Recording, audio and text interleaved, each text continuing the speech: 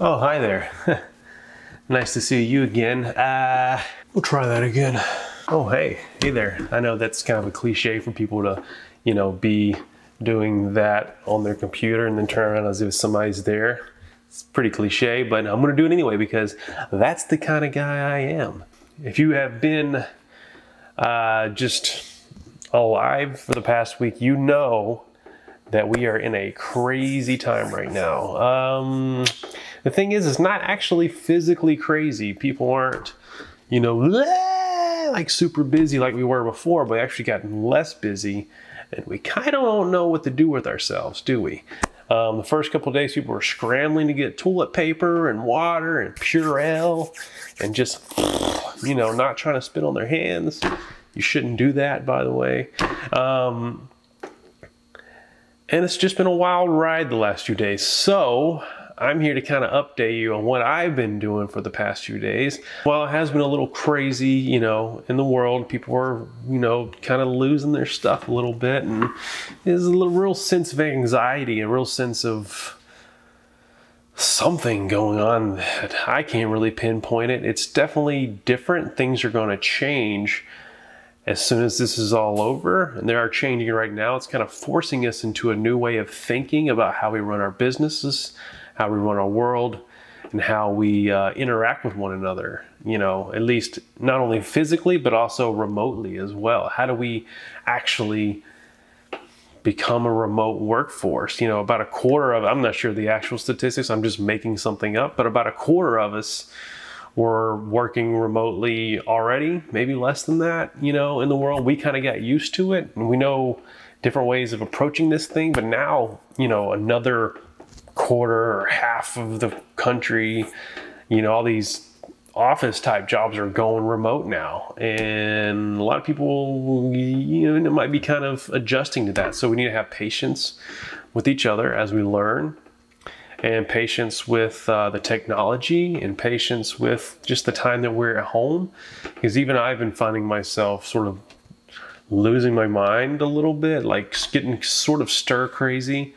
Um, because of the situation, see, I'm at home all the time anyway, but for some reason, that uh, extra weight from this sort of uh, palpable you know atmosphere that we, we're creating right now is creating some anxiety even in my own head. And i know that things are going to be okay but i still momentarily get this you know a little bit of panic a little bit of fear and anxiety and whatever else you want to call it uh, i definitely experience that from time to time especially as the day wanes uh, at the end of the day when my willpower has gone kaput i will be just on a whole different level of anxiety and frustration. So anyway, I'm going to, besides my problems, want to update you. I sent it off to, we sent it off to the client because the director was loving the cut. We sent it off to the client.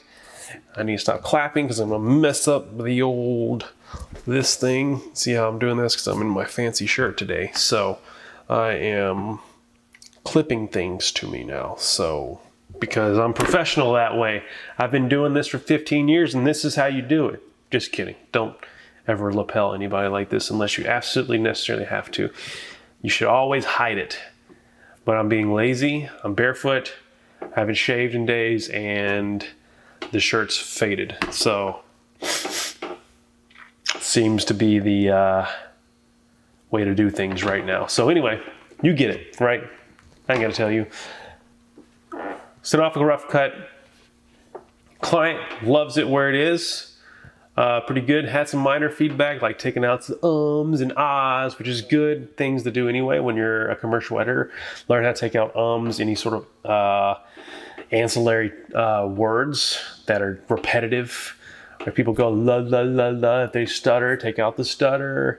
If you can cover it up, um, take out, like I said, any extra words. Some some people might say stuff like, you know, often also whenever you don't need the second word just take out also so often something you know you know you just make it a more complete sentence now okay and there was this sort of issue there was one story related note that had to do with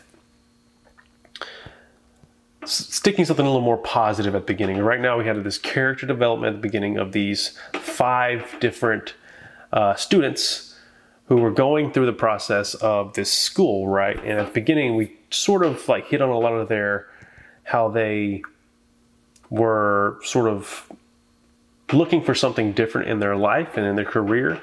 And it was a little more negative uh, feeling, not necessarily negative per se, but it just felt a little more downtrodden or whatever to kind of get you hooked into them empathetically because we can all associate with these characters.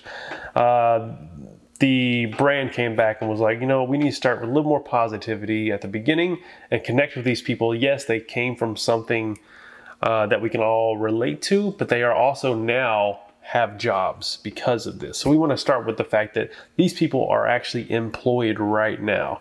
So what I did was there was actually some bits that the director cut or, or shot and I interjected that at the beginning. So they stuff that says like, I'm such and such and I'm a software developer. I'm Bill and I'm a systems engineer. I'm Rebecca, and I'm a Java develop, developer.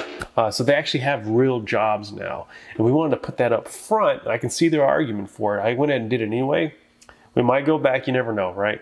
But I put it at the beginning anyway, just to kind of see how it felt. And it actually feels pretty good. So we start off with like a little bit of their uh, empathy statement. So it's like, so one of them was, you know, I used to be a truck driver. That's the only life I ever knew. knew. My name is Rick, and now I'm a software developer. So yeah, that's basically what we did. Just sort of flesh that out a little bit more. It did make it a little bit longer. I trimmed some here and there, added some more bites about the community. So really this process has been more of the refining stage. This is the, I call it the 80-20 rule when it comes to editing. You know, you do like 80% of the editing and then you know, uh, you know how 80-20 rule is, right? Where it's like 80% of the effort gets you 20% of the results. Um, that's sort of the, you can look it up. Google 80-20 rule and it'll tell you all about it. I'm not going to get into it, but it applies to editing for sure, at least for me. It seems like the bulk of the 80% of the editing takes, it, it can go pretty quick. It takes a while still, but that last 20% is where 80% of your payoff comes from.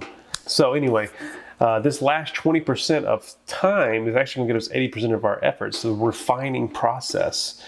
And it's actually this last 20% of the edit takes 80% of your time because you are refining, you're going back and forth, uh, trying to figure this thing out. Um, so yeah, it's a good rule to, to learn as it applies to, uh, to editing videos. So if you learn anything, if you notice this in your own editing, uh, take note of it and really just sort of figure that out for yourself. What is taking the most time and where what is getting you the most results? And I'm, I'm sort of still panning that out on my end. And as I um, as that revelation comes to me more and more, I'll let you know and I'll write it down. I'll give something to you to to show you for that. But right now, I'm just kind of unraveling my mind with this project.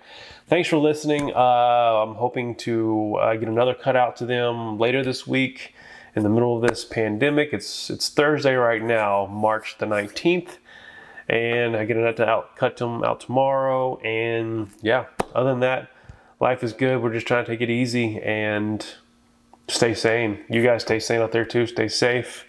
Uh, let me know in the comments what it is uh, that you find to take the longest in your edits. What what is it?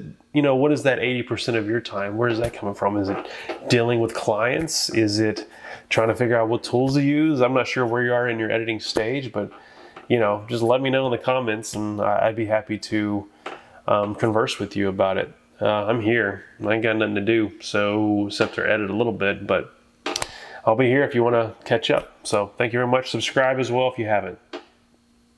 Peace.